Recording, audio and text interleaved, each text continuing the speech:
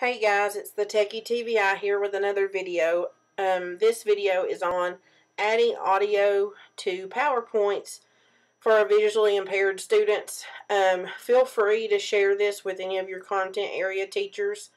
Um, it's pretty simple. It's just basic PowerPoint. I don't go into how to create a PowerPoint or any of that. It's just basically adding the audio to your PowerPoint to make it accessible for the visually impaired student. Alright, so to get started, I just opened a um, blank presentation. You can do it, you can format it however you want to. I'm not going to get into how to design a presentation and all that stuff. But if you just wanted some basic text and some audio recordings, that's the purpose of this video, is to show you how to do the audio recording. So it defaulted me to this um, layout for a slide. Click to add a title, click to add a subtitle. So I'm just going to call it self-determination. And then my subtitle, I might call it section 1. Um, because if you send a student multiple sections um, out of a book or in a series of lessons that you already have planned out. Um, that way they can keep it organized and know which one they're supposed to do first, second, third. Anyway, so what I'm going to do now is just add a bunch of blank, I'll add like three more blank um, slides by clicking insert new slide. And what I want to do is just call it, um, title each one of them slide 2, slide 3, if I could type, and then slide 4. And you can add, you can type in the text, whatever you want it to say. So, content for slide 2. And then for slide 3, let's add testing audio recording for PowerPoint. Okay, so now we have our title slide and three content slides, which are titled Slide 2, Slide 3, and Slide 4. And now it's time to add the audio recording. And the way that we do that is we just go to the Insert tab, or um, on the menu you can go to Insert, and down about halfway you will see audio but I'm going to show you here on the tabs just click insert and all the way on the far right the very last button it says audio. And it when you click on it it brings up your choices. You can do audio browser audio from file or you can record audio. So I'm going to click that and it pops up a little box that says record sound and then you can name it. So I'll, I'll title it title slide. And then you have three buttons which have a record icon, which is just a red circle. Then you have a grayed out square button and a grayed out um, play icon, which is just the triangle pointing towards the right. And the way you're going to record the sound is get ready. and on the far right of the box underneath the text, um, underneath the text box is your timer so you can see how long you've been talking or reading the text that's on the screen. Um, but when once you're ready, you're going to click the record button, which I'm going to do it for you now so you see you can see it and so whenever we go to present the slide or look at the slideshow at the end, you'll see how the recordings play as it, the student moves through it. So I'm going to hit record. Self-Determination, Section 1. I clicked the stop button. And if you want to um, replay it, you can hit the play button like I'm going to do now. Self-Determination, Section 1. So there is my recording. I like it. And then I have a cancel or insert. You can hit cancel um, or click insert. Click cancel, re-record it, or you can click insert if it's what you like. I'm happy with that, so I'm going to move to slide 2 the uh, insert tab still open. I'm going to go all the way over to audio. Down the, to the third option, record audio, and then slide two. I'm going to click record. Slide two, content for slide two. Click the stop button. Again, if I wanted to listen to it, I'll hit play. If not, I'm just going to go ahead and insert it. And then I'm going to click, go to the next slide, slide three. I'm, it still has my insert tab open. I'm going to click audio and then record audio again. And I'll call it slide three. Hit record. Slide three, testing audio recording for PowerPoint. I'm going to click insert and then go to slide four and click audio again, record audio, title it, click the record button.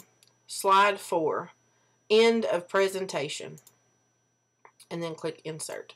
So in playing with this, I found that it just when you're done presenting, even with the audio, it doesn't give an audio cue that the presentation is over. So I highly recommend that at the end of your presentation that you're making for a student, tell them that it's the end so they're not thinking that something's wrong with their computer or it's not reading the text. You can say end of presentation. So anyway, the way that you're going to want to tell your student to access this and that you're going to need to check it is you go to the slideshow tab, which is the sixth one over, and the you want to make sure there there's a checkbox at the far, at the very end of that menu that says play narrations.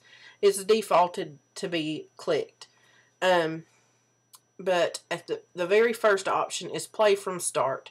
That's how you're going to let your students be able to hear your audio recordings. So if you send a PowerPoint to a student, um, that's how they're going to access it to get the audio that you've recorded. Um, if a teacher has been teaching for years and they're like, well, I already have all these PowerPoints made up, blah, blah, blah, say, okay, send me the slides. I'll add the audio recording so my student can access them. And now we're what I'm going to do now is click the play from start button so that you can see it as if it were a, slideshow. So you see it comes up, you can see my little sound icon. Um, and but you didn't hear anything. What you have to do is you have to hit the neck the right arrow or click the next button. Um, if you see when I move my mouse, um, in the bottom left there's a left arrow, an ed, a pen. I think that's a notes page, and then um, or a notes icon, and then a right arrow to advance it. What I'm going to do is just hit my right arrow key, and it will start playing the audio. Self-determination, section 1. So next I'm going to hit the right arrow again. You see it went to slide 2. Slide 2. Content for slide 2. Slide 3. Testing audio recording for PowerPoint. Slide 4. End of presentation. So now you may be saying, well, Alicia, I want it to play automatically. I don't want them to have to have extra clicks or pressing extra keys, anything like that. We, we will, we're getting ready to address that. So whenever I put in this audio, it brought up a speaker icon. It put it right in the middle of my page. You can click and drag it and put it wherever you want to, resize it, whatever you need to do, whatever the teacher wants you to do with that icon. Um, but when you click on it, it brings up the bar so you can see the audio. You can adjust the volume of it. Um, and when you click on it, it brings up two extra tabs in this on the home bar. Um, and it says audio format and playback. What you're going to have to do is you're going to have to click playback and about midway down the bar, it's like the fourth option. Um, you get play, bookmark, trim audio. You get you have your fade volume, and then you right to the right of volume, you see it says start and click sequence. You're going to change that to automatically. And you you have to do this for each audio. So I'm going to click slide 2, click on my speaker um, where I was in playback already. Um, it does, it brings it up already. I go to um, start and click automatically. Slide 3, click on my speaker, change it to automatically. Slide 4, click on my speaker, change it to automatically. Um, so now let's go back to the slideshow, play from start. Self-determination, section 1. I'm going to press my right arrow. Slide 2. Content for slide 2. Slide 3. Testing audio recording for PowerPoint. Slide 4. End of presentation. So see that each time I hit the right arrow, it advanced my slide and my the audio started automatically. And that's what we want. So just a easy little um, idea for us to share with our students some expanded core curriculum content or if the teacher has made a bunch of PowerPoints available but your student can't access them um, with just the text, or they maybe they have trouble with JAWS or whatever. This is another option. It's a pretty simple option. A lot of us have um, PowerPoint. A lot of people's school systems pay for PowerPoint, um, so you automatically have it. And it's pretty simple. It's not as in depth as the Nearpod that I showed you earlier. Um, if your student's not very techy, they're not really good with the voiceover um, on an iPad or something like that, this is how, um, this is a way that you can share it with them so that they can access their work. Alright guys, so that was a nice short video on how to add audio to PowerPoints. Um, I hope you enjoyed it. I hope it was helpful. Um, I hope you're having a great night or a great day, whatever it is, wherever you are. And I will see you guys at the next video.